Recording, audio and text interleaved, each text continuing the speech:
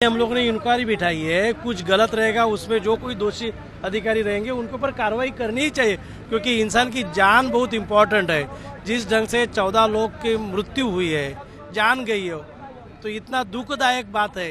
MOH medical officer health होते हैं। उन्होंने कैसे ढंग से ऑनलाइन उनको परमिशन दी है, नहीं दी है, कैसे दी है साइट पे आके इंस्पेक्शन किया है, नहीं किया है उसका पूरा इंक्वायरी करके फायर ऑडिट किया गया था फायर का सिस्टम बराबर था, नहीं था, ये हादसे को कौन जिम्मेदार है? उसका रिपोर्ट तो आना चाहिए। करीब करीब सभी लोगों की जो मृत्यु हुई है, वो सफोकेशन से हुई है।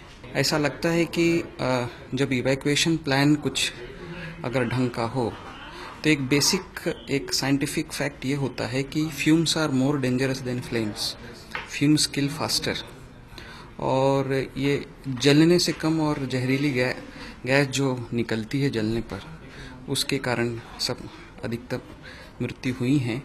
और जिस टॉयलेट में ये सब लोगों को रखा गया था जलने से बचाने के लिए तो जलने से तो बच गए लेकिन उससे जो जलने के कारण जो जहरीली गैस निकलती है उसके कारण मृत्यु हुई।